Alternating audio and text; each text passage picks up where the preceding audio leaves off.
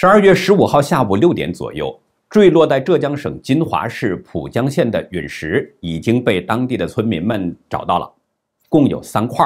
最重的一块呢是毛店村村民陈根花和她丈夫发现的，长度只有八厘米，重是三斤四两。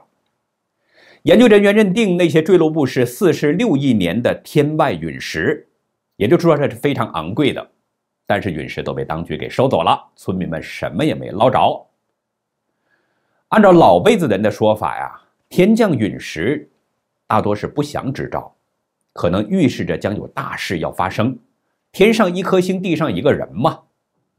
一九七六年三月的吉林降下陨石雨之后，当年中共的三巨头。周恩来、毛泽东，还有朱德，他们相继去世了。